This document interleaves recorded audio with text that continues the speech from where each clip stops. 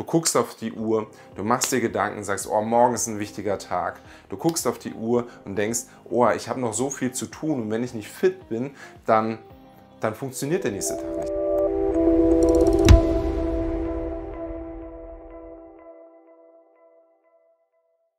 Zum Thema Einschlafen und Durchschlafen hast du das Video gesehen.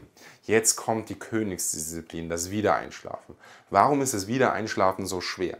Weil meistens ist es ein Schockmoment, ein Albtraum oder wenn du Kinder hast, ruft ein Kind um 2, 3 Uhr und dann gerätst du in eine Kaskade hinein, die keiner will. Dein Sympathikus geht hoch, dein Cortisol geht hoch, ähm, dein Adrenalin geht hoch und in diesem Zustand wirst du nicht wieder einschlafen können. Und was sind dann die Punkte, die noch obendrauf passieren.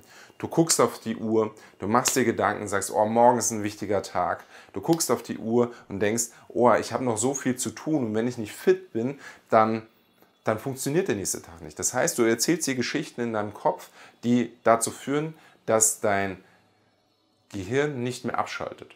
Und deswegen nehme etwas, um es aufzuschreiben, das haben wir schon gehört. Das heißt, wie ein Denkarium, tue die ähm, Dinge, die dich beschäftigen, einfach aufschreiben und stehe auf jeden Fall auf.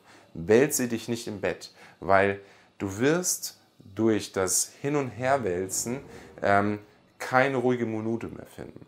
Nehme dir etwas vor, was sehr monoton ist, was sehr, sehr einfach gestrickt ist, was du am besten nicht magst. Und versuche die Lichtquelle so wenig Blaulicht wie möglich zu setzen. Wenn du eine Blaulichtbrille hast, wäre das perfekt. Ähm, aber das ist etwas, was für dich entscheidend ist, dass du ähm, das Melatonin nicht abgebaut wird. Ja, dass das Melatonin nicht abgebaut wird. Und da musst du einhaken. Das heißt, ähm, wir sind darauf programmiert, ich erzähle zum Beispiel immer noch Geschichten oder wir sprechen nochmal meine Kinder. Ja? Warum schlafen Kinder nach Geschichten gut ein?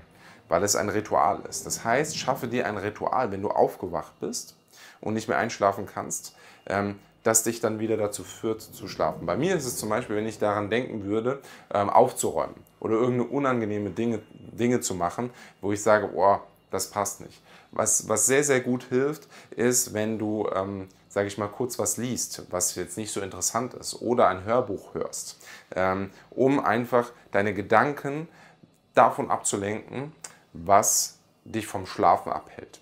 Und wenn du etwas zu dir nehmen willst, um das Einschlafen zu fördern, ähm, würde ich dir empfehlen, wirklich dann mit nochmal einem Melatonin zu arbeiten. Hier ganz wichtig, ein hochdosiertes, kurzwirksames Melatonin ähm, als Supplement. Ähm, so, ich würde sagen so 2 Milligramm, weil das wird ja auch relativ schnell abgebaut, das heißt, du hast keinen Hangover-Effekt. Ähm, kannst aber auch mit GABA arbeiten, da haben viele Leute mir auch sehr Positives berichtet, was, was auf jeden Fall hilft beim schnellen Wiedereinschlafen. Aber der natürliche Prozess ist das Allerwichtigste. Schaffe es, dein Gehirn wieder auf einen Schlafmodus zu bekommen, ohne dir die Geschichten zu erzählen, die dich vom Schlafen abhalten. Wenn du noch ein paar Tipps hast oder wenn du sagst, da habe ich noch eine Frage dazu, dann stell mir das auf jeden Fall in die Kommentare. Wenn du sagst, hey, das Video hat dir gefallen, dann gib mir einen Daumen hoch und gerne lass mir auch ein Abo da. Ich freue mich auf das nächste Mal mit dir. Mach's gut, dein Frank.